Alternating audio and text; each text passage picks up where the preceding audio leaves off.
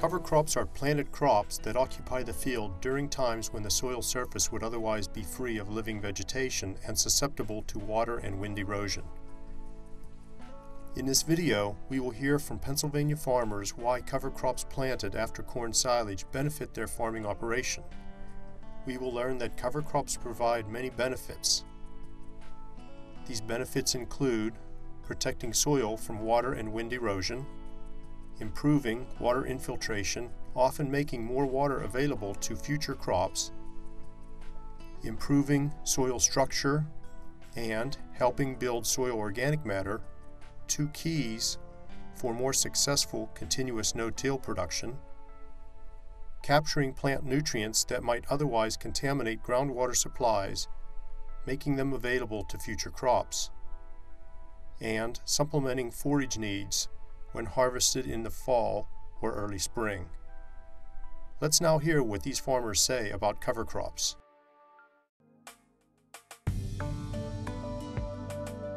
We're primarily a shale.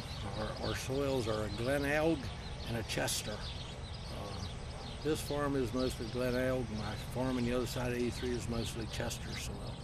And uh, not the very top soils, but real good soil. It, it, drains well, uh, it absorbs water well, it drains well, and it's very productive soil. Our, of our 1,200 acres, it's, we're about half and half shale versus limestone, maybe a little heavier on the shale. Our home farms here, our base is in the shale ground. There's advantages to, to having slate. It, there's no rocks to run into. Uh, it, it's easy to you know it's easy to farm. It's oftentimes hillier, but you can you can deal with that and our limestone ground is rocky, so you're banging things over. I find myself planting a lot. Well, we, we chop our most of our corn here on our shale ground just because it, it's nearby here. And so that's where our cover crops go. We probably started using cover crops in 2001 pretty heavily. Um, we were only doing like the fields that were going in corn and not hay. And walking out in our fields that did not have cover crop at the time, you could see soil washing away. In 1996, uh, largely because um, uh, I noticed, observed after uh, intense rainfalls that uh, there was there was puddling, lots of water accumulations on the field from the corn silage harvest. That uh, we needed to do something to condition these soils better for so for water percolation. we have a soil called Opequon. It's a shallow limestone soil. I can't show you any rock outcroppings right here, but we have uh, rock outcroppings. This hill, when we go more than a week without rain in the summer, things start to go the other direction on us. So basically it's a shallow soil issue.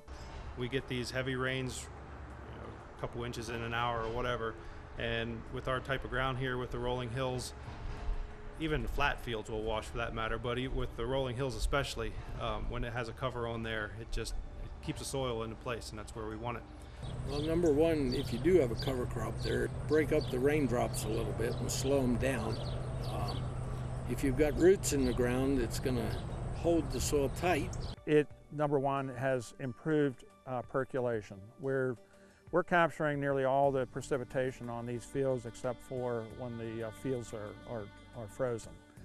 Uh, if you've got organic matter present, it's going to aggregate the soil that lets it absorb a lot better and retain. And uh, I know from visual past that uh, you get a good healthy soil and the water just will be absorbed right in versus a tilled soil that is fine particles and the water just runs right off. We've had a couple hard rain events in the past years, a couple years in the spring.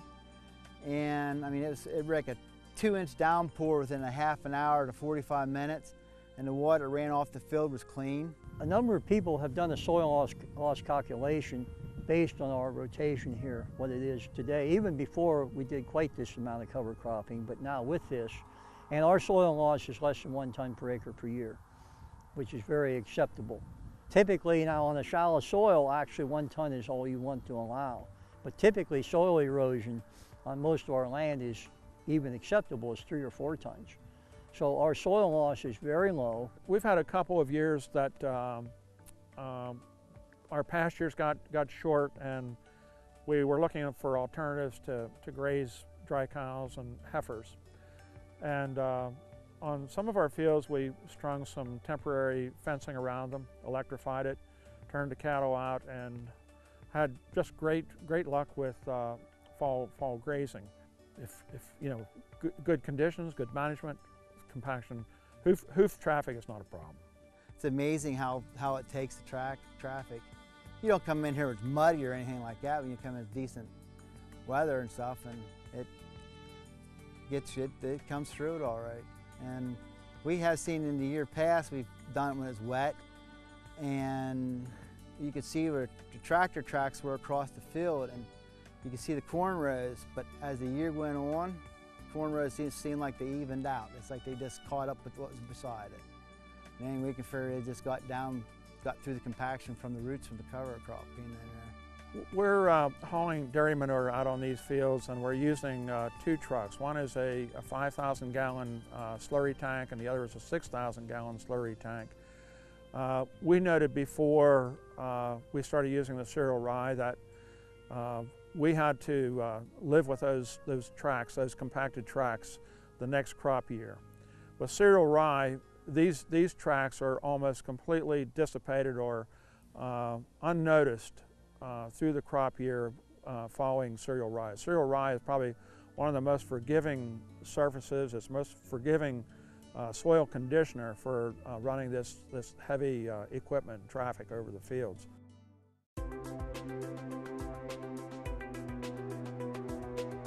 There's as many microbes per acre to weigh as much as a cow. They eat as much as a cow. You need to feed your microbes. I'm not a, biologist by any means or anything, but I know that I've been to enough education meetings where I hear the getting the organic matter up and getting uh, carbon in the soil and all those all those issues.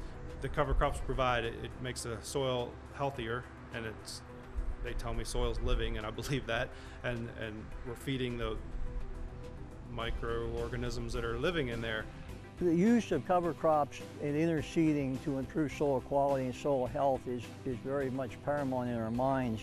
I track soil organic matter pretty uh, frequently and we can't get much over 3% soil organic matter even after 30 years of no-till because we need more diversity, we need more carbon in our system. There is more going on under the surface than there is on top of the surface. As, as, time progressed, the soil conditions started to improve, soil structure improved, percolation improved, and then we started noticing the uh, organic matter on our, on our soil sample, our soil test uh, coming up. And we have some fields now that have organic matter in the 5% uh, range, and we had started around 1.5%. Uh, our organic matters have increased considerably uh, over the last last couple soil tests, last three to four years. And our soil tests, I mean, we chop everything, and our organic matter, we're running three to five in our organic matter for most of our soils. You see the benefit of, of the organic building. You see the, the benefit of the softer textured soil, the soil life, the aggregation of the soil, the tilth, uh, and that the crops do better.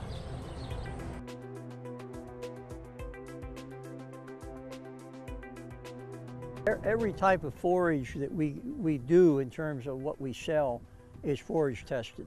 We usually wait about two weeks after we, after we harvest and wrap to do forage testing so a farmer knows exactly what they're getting in the way of quality and, and protein and so forth.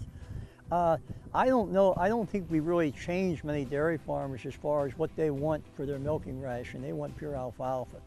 But they're using some of this in other ways on the farm, and we've also sold some forages to beef, uh, beef cattle producers as well. And of course, they have dry cows. The dairy guys have dry cows to, to feed some something to, and it's a little cheaper forage because we can produce it a little cheaper. Last couple of years, we put away for heifers. Um, didn't really put away for the milk cows, but this next year we're thinking we're going to probably put this away for milk cows also. It all comes out of the same sow, and yeah, we feed the cows. And, and the same silage gets fed to replacements. And I also feed some steers, and that gets fed to the same the same silage gets fed, maybe in a little different blend, but yes, all those cover crops get fed to the cows. We uh, manage our, our rye with, with two objectives, and that is cover the soil, give us the, all these advantages of the cover crop. And then secondly, uh, we have that option if we're short of feed, we can come through and, and, and harvest it for, for a uh, forage. This last year we, we harvested 200 acres and, and fed it largely to our dry cows and, and heifers. It, it tested anywhere from 14 to 16% protein, still made excellent feed and, and we, were, we were happy to have it.